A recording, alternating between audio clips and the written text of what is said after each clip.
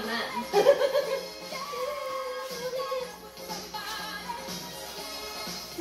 flower, the girl. You're holding yourself well, but